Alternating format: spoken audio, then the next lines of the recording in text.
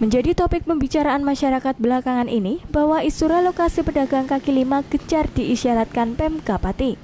Bupati Pati pun membenarkan bahwa Pemka Pati tengah mencarikan tempat untuk relokasi pedagang kaki lima.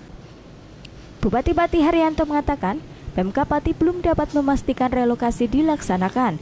Relokasi PKL baru beranjak pada perencanaan yang didasari melalui perdatan untuk saat ini, Pemka Pati baru mencarikan lokasi yang strategis bagi PKL. Bupati Pati Haryanto menambahkan faktor utama relokasi PKL bermula dari tingkat kesadaran PKL dalam merawat lingkungan rendah.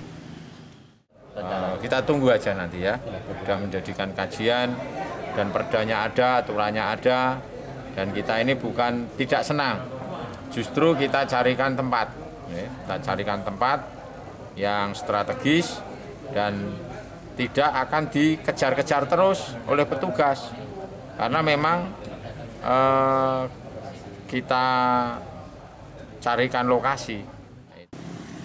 Oksanur Raja Simpang 5 TV melaporkan.